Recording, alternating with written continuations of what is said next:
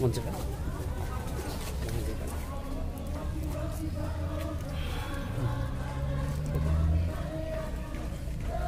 भैया आज जुन चाहिँ बेल पाइने के विषयमा के भन्न चाहन्छ भन्नु।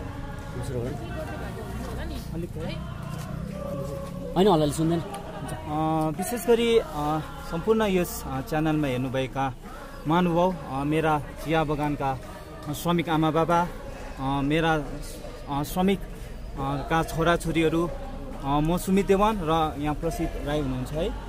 विशेष गरी तपाईँलाई विधि जानकारी भएको कुरा हो कि हामीमाथि एउटा प्रशासनिक रूपबाट एउटा फल्स केसहरू लगाएको थियो है।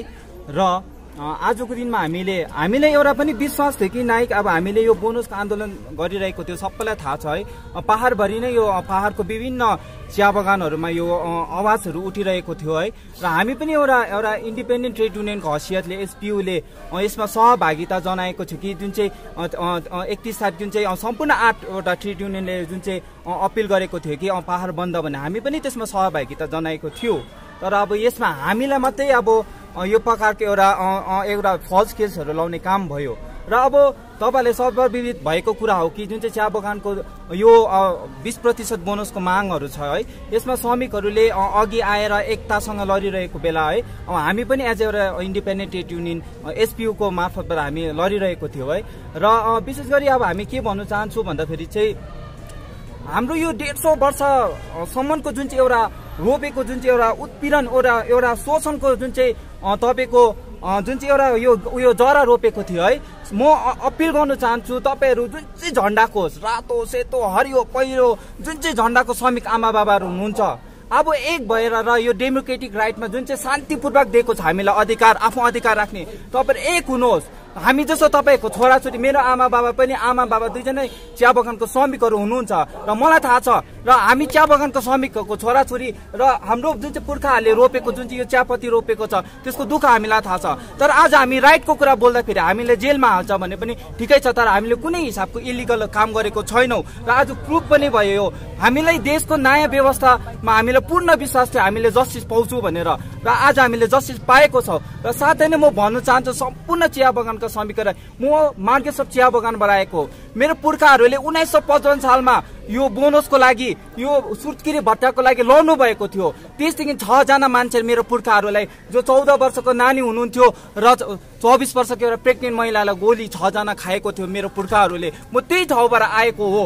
र यदि हामीलाई यस्तो अधिकार माग्दा पनि हामीले पुलिसबाट यस्तो दमन गर्छ भने हामी हामी डेमोक्रेटिक रूपमा हामी माग्छौँ हामी आफ्नो अधिकार खोज्छौँ र तपाईँलाई म अपिल गर्न चाहन्छु तपाईँहरू जुन चाहिँ झन्डा खोज तपाईँहरू अब एक भएर आउनुहोस् यो डेढ सौ वर्षको जुन चाहिँ शोषण छ यो हामी यो मालिकहरूले रोपेको जुन चाहिँ शोषण छ यसको विरुद्ध यसको एकतामा हामी सबै चिया बगानको श्रमिक युवाहरू सबैजना एक भएर अघि आउनुहोस् र दादाहरू जस्तो एउटा एकदम नायक यो लयरहरू हुनुहुन्छ।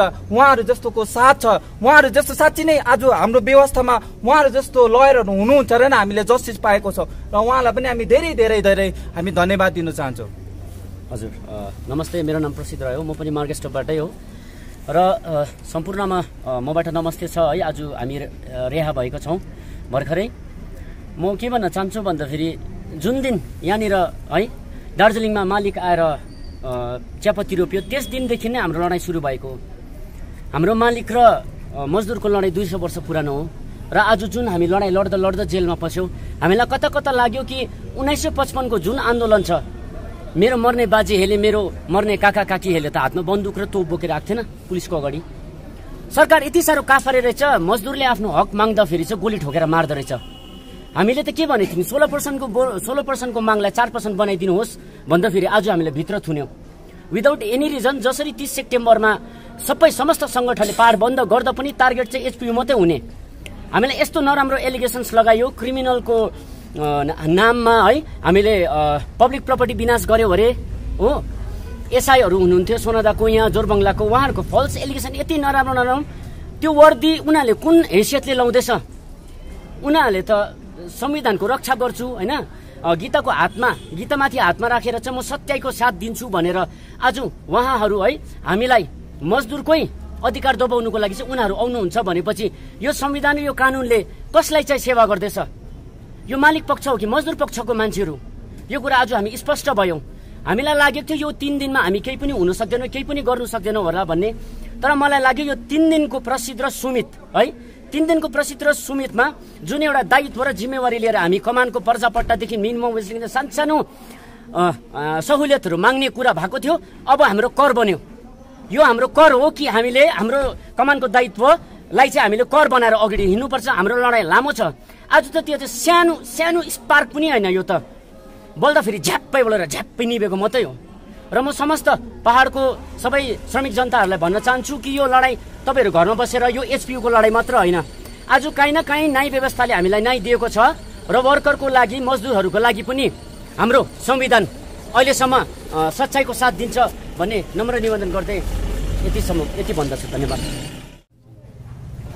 विशेष यो तिस नौ दुई हजार चौबिसको दिन एउटा कम्प्लेन भएको थियो अननोन पर्सन्सले रोड ब्लक ब्लकेज गर्यो भन्ने एउटा जोरबङ्गा थानामा एउटा एफआइआर रेजिस्टर भएको थियो। त्यही सम्बन्धमा हाम्रो भाइहरू दुईजनालाई पुलिसले एरेस्ट गर्यो र हामीले एउटा लयर एडभोकेट भएको हिसाबले हामीले उहाँहरूको केस लियौँ र आज हामीले कोर्टमा हाम्रो आफ्नो दलिल पेस गरेर कोर्ट सेटिस्फाई हुनुभयो र उहाँहरूले बेल पायो। र यसमा हाम्रो भनाइ के छ भने हामी एउटा स्वतन्त्र रूपले प्र्याक्टिकल हिसाबले हामी एउटा लयर भएको हिसाबले हामीले उहाँहरूको कानुनको बमोजिम के हुन्छ त्यो कुरालाई हामीले कोर्टमा पेस गऱ्यौँ र हामीले एकदम स्वतन्त्र रूपमा हामी कसैसँग केही इन्भल्भ नभइकन हामीले हाम्रो लयरले गर्नुपर्ने कर्तव्य निभायौँ र हामीले आज भाइहरूलाई बेलमा निकाल्नमा सक्षम भयौँ र अरू त हाम्रो केही छैन हामी जहिले पनि यसरी हामी भएकोमा क्लाइन्ट आएपछि हामीले क्लाइन्टलाई कसरी रिलिफ दिन सक्छौँ? त्यही काम हामीले गऱ्यौँ र हामीलाई भएकोमा कोही पनि आउनु भएन। फ्युचरमा पनि हामी आफ्नो एउटा लयरको दायित्व निभाएर जो कोही पनि हामी भएकोमा आउनुहुन्छ उहाँहरूलाई हामीले यसरी उहाँहरूको पक्षमा हामी लडाइँ गरेर उहाँहरूको निम्ति एउटा कानुनबाट कुन हिसाबले उहाँहरूले मुक्त हुनसक्छ अथवा उहाँहरूले के त्यो बेल हुन्छ अथवा भोलि दिनमा ट्रायल हुन्छ त्यसलाई कसरी हामीले निभाउनु पर्ने त्यो हाम्रो पक्षबाट हामी निभाएको हुन्छ। के इन्टरिम बेल हो कि के हो? यो इन्टरिम बेल होइन यो बेल तपाईँको कन्फर्म बेल हो। र यसमा कतिवटा कन्डिसन्सहरू दिनुभएको छ। त्यो कन्डिसन्सहरू चाहिँ अब टिल द फर्दर अर्डर चाहिँ त्यो कन्डिसन रहनेछ। यो कुन चाहिँ कोर्टमा सुनवाई भएको यो हाम्रो दार्जिलिङ सिजिएम कोर्टमा आज सुनवाई भएको हो। र सिजिएम कोर्टमा आज पक्षको भनौँ अथवा सरकार पक्षबाट उहाँहरूले आफ्नो दलिल राख्नु भएको थियो। र हामी डिफेन्स काउन्सिलले पनि हाम्रो पक्ष राख्दाखेरि हाम्रो पक्षलाई सही मानेर उहाँहरूलाई आज बेलमा रिलिज गर्नुभएको छ। चार्जेसहरू के के थियो चार्जेसहरू तपाईँको one eighty nine to eighty five BNS र तपाईँको eight B of national highway act थियो। र थ्री अफ पिडिपिपी एक्ट थियो। थ्री अफ पिडिपिपी एक्ट चाहिँ उहाँहरूले at the time of FIR चाहिँ उहाँहरूको त्यो इन्ग्रिडियन्सै थिएन। तर अब यो उहाँहरूलाई एरेस्ट गरे पश्चात चाहिँ उहाँहरूले त्यो कुरालाई बनाउनु खोज्यो। कि उहाँहरूले रोडमा पनि आएर नेसनल हाइवेलाई ड्यामेज गर्यो भन्ने एउटा कुरा बनाउनु खोज्यो।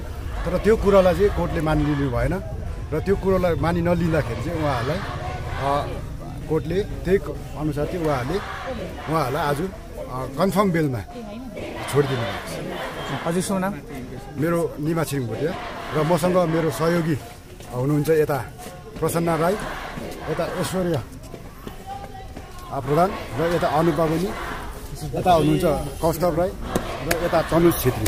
र हामी सम्पूर्ण टिमले आज कोर्टलाई कन्भिन्स गर्न सक्छौँ र म मेरा सहयोगी भाइहरूलाई पनि मलाई यो लडाइँमा सहयोग गरिदिनु भएकोमा धेरै धेरै धन्यवाद।